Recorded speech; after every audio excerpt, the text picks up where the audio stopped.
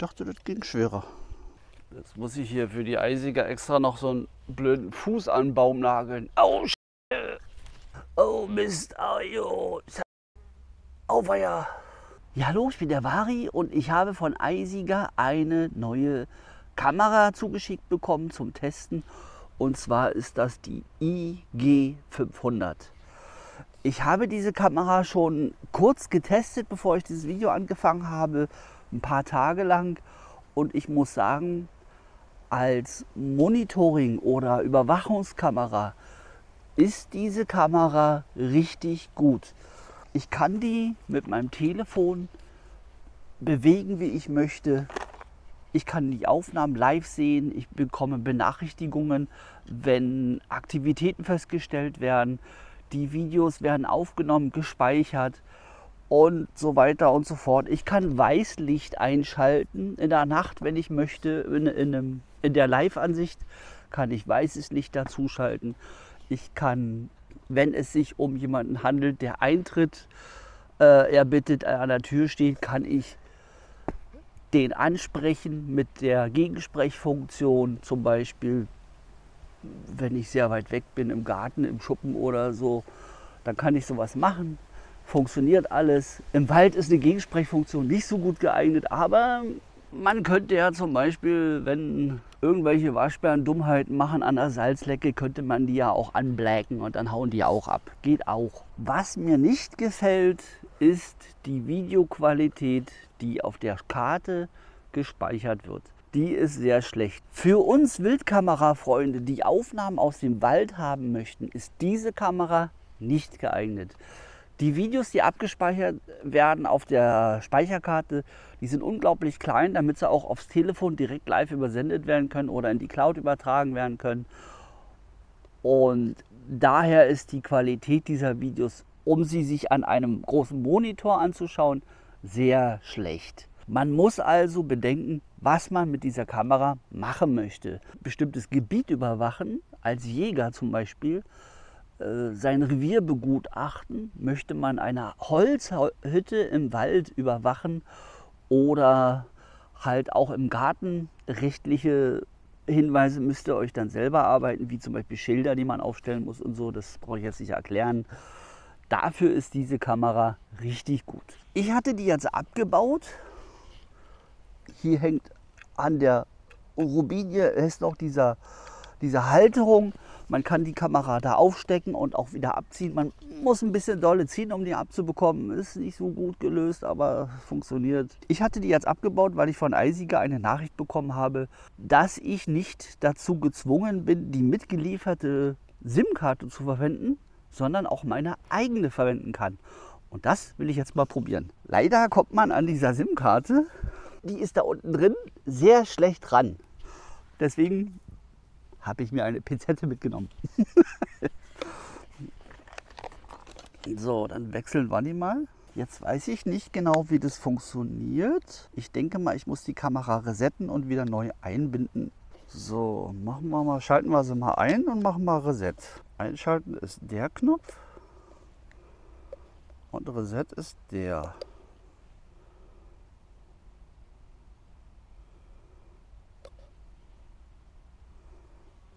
System Reset. Ah, okay. So. Gucken wir mal, was passiert. Kamera blinkt rot. Sieht man das? Ja. Jetzt blinkt gar nichts mehr. Jetzt blinkt sie wieder. Ich habe mit eisiger E-Mail-Austausch gehabt, weil mich stört es, dass ich gebunden bin an diese eine SIM-Karte. Und da hatte mir Eisiger geantwortet, es ist auch möglich, die eigenen SIM-Karten zu verwenden. Und das hatte ich probiert. Ich habe, mein Anbieter ist Drillish Online Black SIM.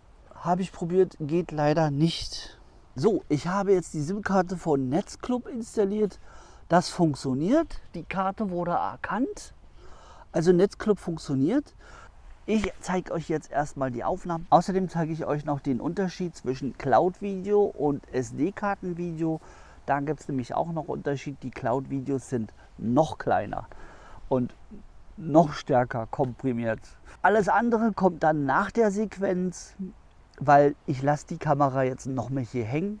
Ein bisschen Guthaben auf der SIM-Karte ist noch drauf. Das nutze ich natürlich. Und dann gibt es hier noch ein paar Eindrücke.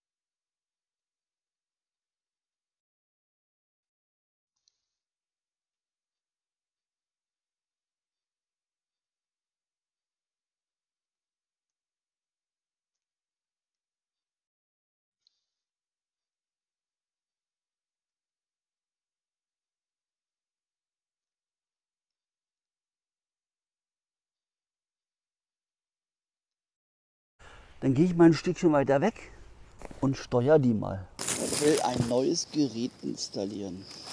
Jetzt ist die blaue Lampe an. 4G Gerät installieren. Insert the SIM card, install the camera, install the antenna, then power on the device.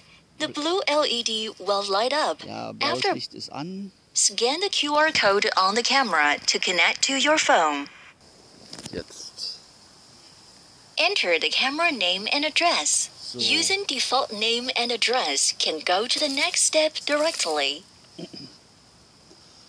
Camera installed success. Oh, hallo. So, Kamera ist online. Dann stelle ich die noch ein. Soll speichern auf SD-Karte. Speicherverwaltung, Karte, genau.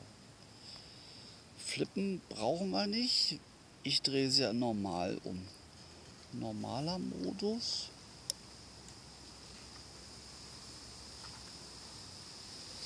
Nachtsichtmodus, normaler Modus. Ich weiß nicht, was das sein soll. Schön. 20 Sekunden. Gerätealarm. Das bedeutet, wenn eine Bewegungserkennung stattfindet, macht diese Kamera ein Geräusch. Und das möchte ich nicht. Kontrollleuchte soll aus sein, genau. Jetzt ist er auch aus. Audiofunktion.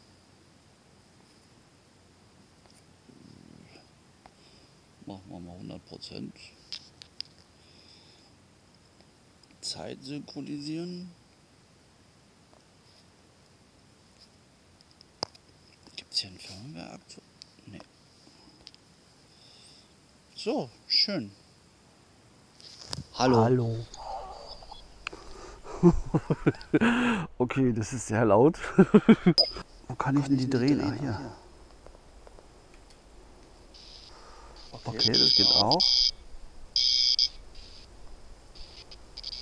Also ihr habt gesehen, die Kamera lässt sich relativ einfach einrichten und auch relativ einfach bedienen. Es wird eine SIM-Karte mitgeliefert mit einem Startguthaben, mit einem Testguthaben von 200 Megabyte. Klingt unglaublich wenig. Ich habe die Kamera jetzt aber zwei Wochen lang getestet und ich habe gerade mal 30 Megabyte verbraucht.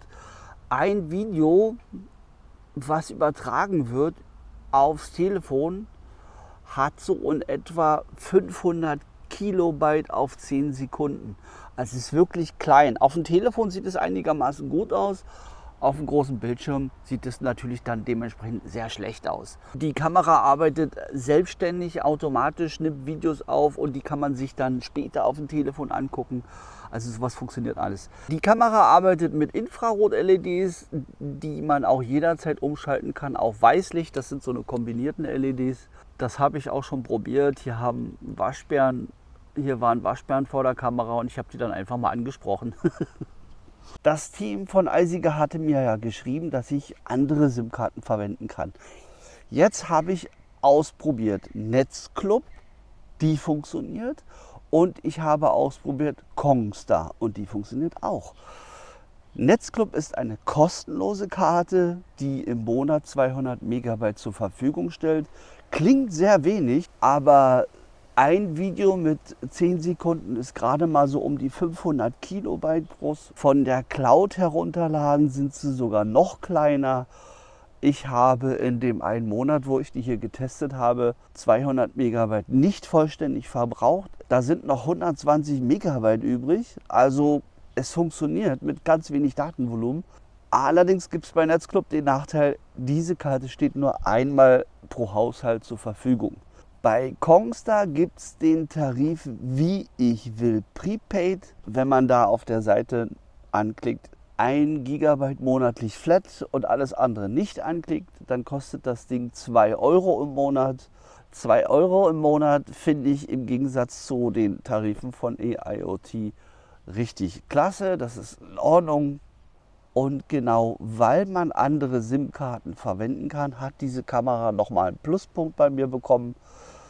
Und das macht sie sehr attraktiv, wenn man sparsam Monitoring betreiben möchte, finde ich gut.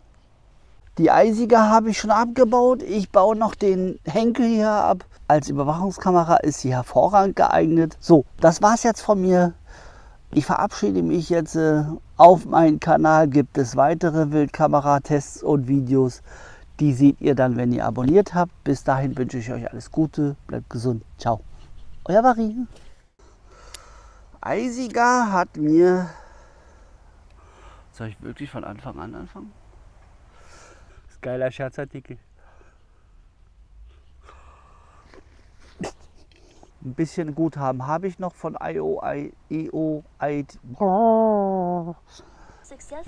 Oh, mitten.